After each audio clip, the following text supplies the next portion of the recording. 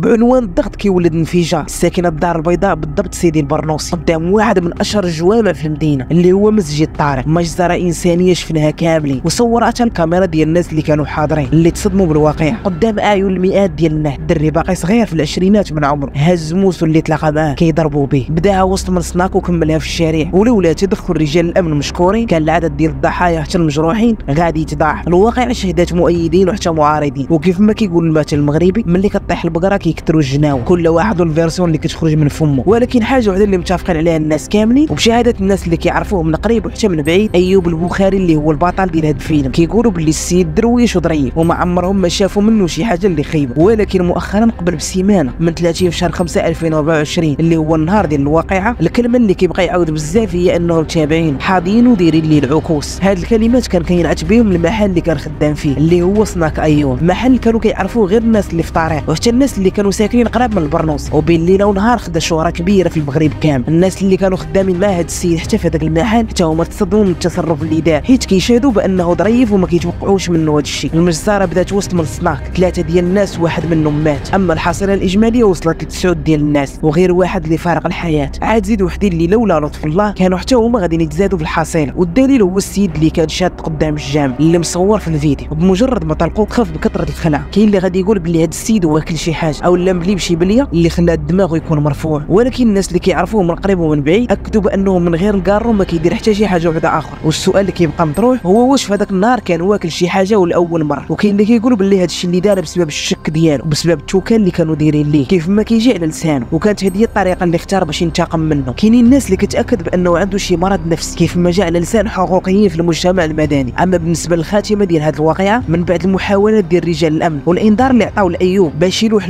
الموس من يديه وينزل للارض ولكن بسبب عدم الامتثال ديالو للاوامر ديال البوليس هنا وصل السيل الزبى وباش يساليو هذا الفيلم اضطر واحد من رجال الامن اللي كان civil باش يجبد السلاح ديالو ومن بعد التهديد الأول والثاني والثالث دم السكه ديال الطران وأمام أعين الحاضرين أيوب كان قاصد بالموس ديالو البوليسي. والحل اللي كان عند رجل الأمن باش يحمي على الأقل راسو هو يتيري فيه. القرطاسة جات في الفخذ ديال أيوب البخاري. الحاجة اللي خلاته يطيح في البلاصه هذا التدخل بالسلاح الوظيفي ديال البوليسي هو تدخل اضطراري حيت لولا هذا القرار كانت المجزرة ممكن تكبر و surtout السيد ما كانش في الوعي ديالو حيت حتى البوليسي ما كانش غادي يحن فيه. في بلاصة البوليس تحكموا في الوضع صيفطوه للسبيطار باش يتعالج. ومن بعد ما يتشافى غادي تكون متابعة قضائية. اللي غادي تشرف عليها النيابة العامة والتحقيق هو اللي غادي يأكد واش هذا السيد في هذيك اللحظة كان واكل شي حاجة أو لا هذه غير حالة هستيرية عندها علاقة بمرض نفسي. أما بالنسبة للسلاح اللي كاينين الناس مؤيدين ومعارضين الأستاذ الجامعي الحفيظي اللي هو خبير في الدراسات الأمنية كان أكد باللي السلاح الوظيفي اللي عند أي واحد من رجل الأمن عنده ضوابط ديالو ومعايير اللي عندها علاقة بحالة الدفاع على النفس. كيف ما جاء في الفصل 124 و 125 من القانون الجنائي. يعني أي بوليسي في حالة تحس بالخطر فدفاعا عن النفس ممكن يخدم بهذا السلاح الوظيفي. وبالأخص إذا شاف كاين حتى تهديد على السلامة ديال المواطنين. فهذه الحالة كتكون عنده رخصة باش يستعمل السلاح ديالو. ولكن بشرط أن الضربه تكون في واحد المنطقة محددة. اللي في الغالب كتكون في المنطقة السفلى من الجسم. يعني من الحزام للتحت وتقريبا الحالات كاملين ديال البوليس اللي سبق لينا وسمعنا بهم التدخل كيكون غير في الرجل. باش تفشل الحركة ديال هذا السيد اللي كيشكل خطر على البوليس وحتى على الناس اللي حاضرين. وفي نفس الوقت